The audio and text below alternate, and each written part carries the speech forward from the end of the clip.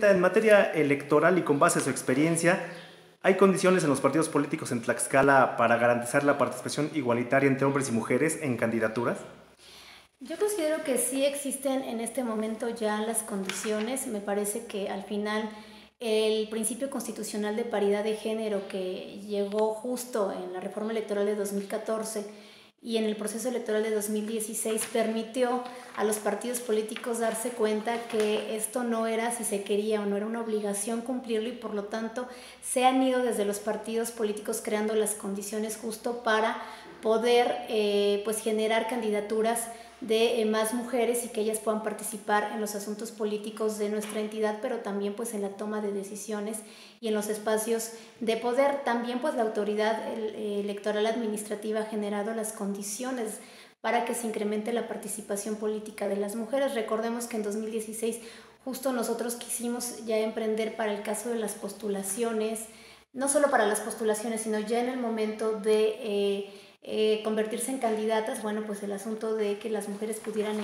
ir eh, a la cabeza en las listas de representación proporcional. Recordarán que fue todo un escándalo, se criticó a la autoridad electoral y en ese momento, bueno, pues la ley no nos permitía hacer más y ya se materializó en el 2018 a través de la autoridad jurisdiccional que bueno estableció esta acción afirmativa pero que en su momento pues nosotros la impulsamos. Creo que sí existen las condiciones. Debo también comentar que en, la, en el proceso electoral de 2018, la verdad es que esta autoridad ya no tuvo tantos problemas para, el, para verificar el cumplimiento de la paridad de género y los partidos políticos sí cumplieron con eh, eh, este principio, además de que emitimos lineamientos justo para regular el cumplimiento de la paridad y no tuvimos problemas al final.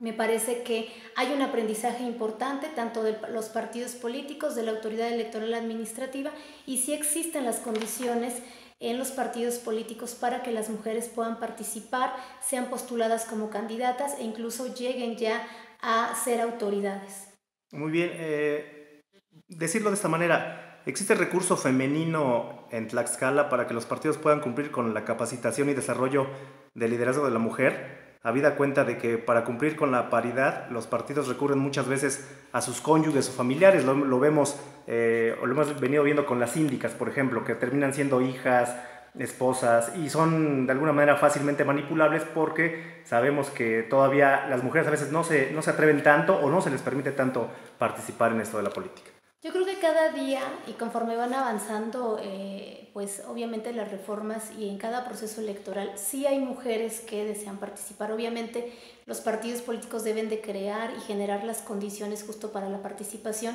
al igual que la autoridad electoral. Eh, considero que obviamente pues se deben de formar cuadros de mujeres líderes previamente a un proceso electoral, porque a veces pareciera que empiezan a querer generar cuadros y a buscar candidatas justo cuando ya va a iniciar el registro de candidaturas. Prácticamente de última hora, ¿no? Exacto, entonces creo que los partidos políticos deben de ir previendo eh, esa parte y entonces empezar a generar, bueno, ya decía, esos cuadros de mujeres líderes que le permitan pues al partido político garantizar que van a ganar una presidencia municipal, una diputación, incluso la gubernatura. Entonces es importante eh, justo que la mujer también se decida a participar, porque yo he dicho muchas veces, eh, la ley pues te da estas posibilidades justo de que haya mayor participación eh, política de las mujeres, pero si nosotras no nos atrevemos a participar, siempre nos quedaremos en los partidos políticos o se quedarán las mujeres en los partidos políticos como líderes anónimas,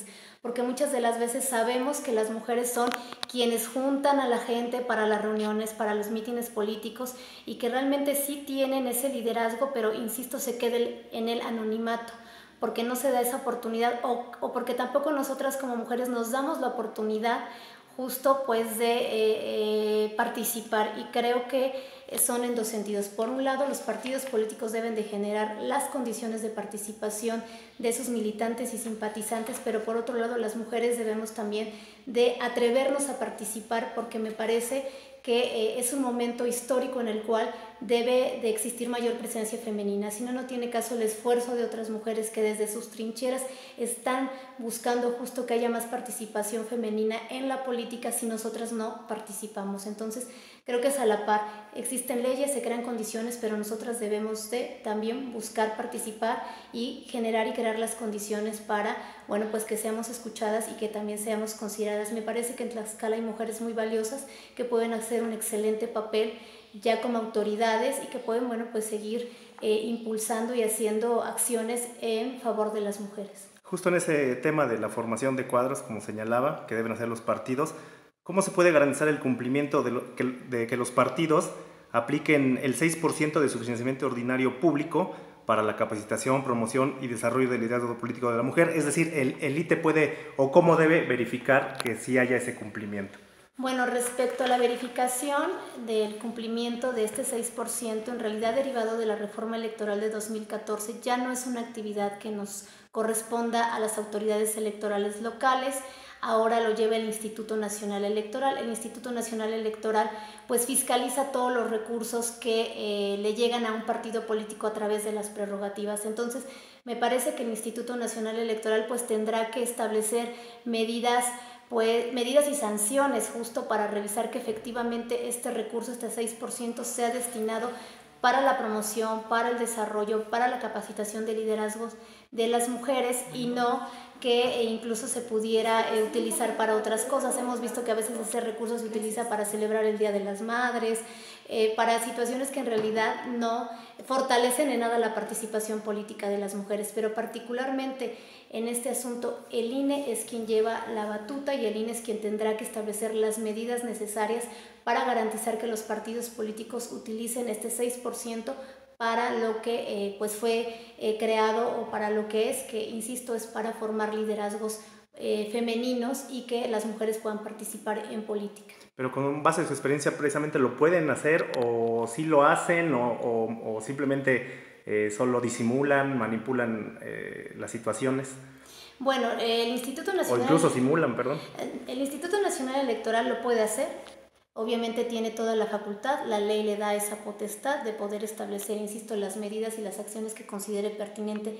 para garantizar que este recurso se utilice para lo que debe ser. Eh, obviamente me imagino que el Instituto Nacional Electoral también derivado de estas experiencias y estos procesos electorales que ya vivimos en este sistema en el cual pues participamos tanto el Instituto Nacional Electoral organizando elecciones federales y las autoridades electorales organizando elecciones locales, pues obviamente tendrá para la próxima elección que revisar y ver cómo puede justo garantizar en esta revisión y en la fiscalización que los partidos políticos cumplan y evitar cualquier simulación, cualquier discrecionalidad. Si es una tarea, insisto, que le corresponde al Instituto Nacional Electoral, pero que me imagino porque es una institución pues seria, profesional, en su momento pues estará presentando las medidas y los lineamientos para garantizar que este recurso se utilice en beneficio de las mujeres. Eh, finalmente, eh, ¿simulan todavía los partidos? ¿Usted cree que en este tema, sobre todo mujeres y jóvenes también simulen todavía una inclusión, un, un eh, arropamiento de ellos para generar nuevos cuadros?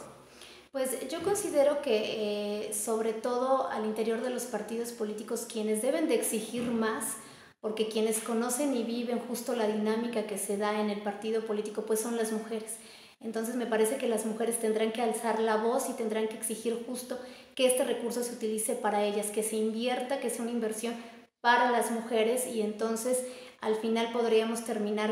eh, con las simulaciones o con lo que pudiera presentarse, pero parte también, insisto, de un compromiso de las mujeres de unirse y entonces exigirle a quienes dirigen el partido político que ese recurso se utilice para lo que está destinado. Gracias, Presidenta del Instituto la de Elecciones, Elizabeth Piedras Martínez. Gracias.